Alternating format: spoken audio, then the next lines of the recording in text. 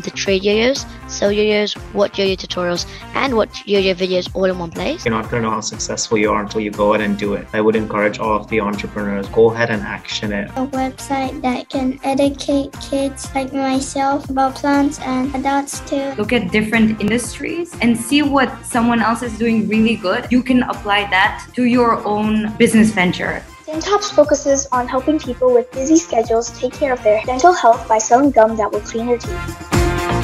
We'll teach kids things not usually found in school, like how to manage their own money. One of the goals for everybody should be you know, how do you build a brand? And in order to do that, you really need to understand your audience. The Crepanfles, which consists of one pancake, one waffle, and one crepe, with your choice of toppings the profits you make needs to go back and it should aid you to be more sustainable as a business. It will be a platform where individual donors and restaurants can connect with food pantries and soup kitchens.